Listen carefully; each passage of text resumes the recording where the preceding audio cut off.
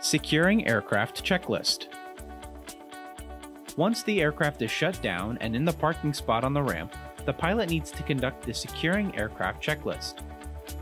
The Securing Checklist ensures that Hobbs and tach times are properly recorded, as well as that the aircraft is properly secured and locked until its next flight.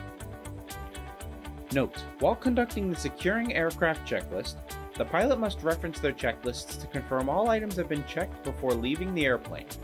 At first, pilots will rely on the checklist to guide their check, but with experience, pilots begin doing the required checklist line items and then verifying by reviewing the checklist. The pilot first records the Hobbs and tach times in the aircraft's can. Then they turn the fuel selector valve to either the left or right position.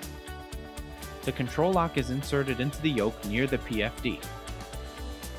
The air vents and cabin air are closed, and all interior and exterior lights are turned off.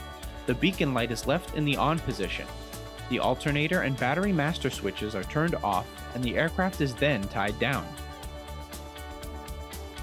The pilot then collects all personal belongings and any trash from the flight and releases the parking brake before closing and locking all windows and doors. Be sure to like our video and subscribe for more epic content.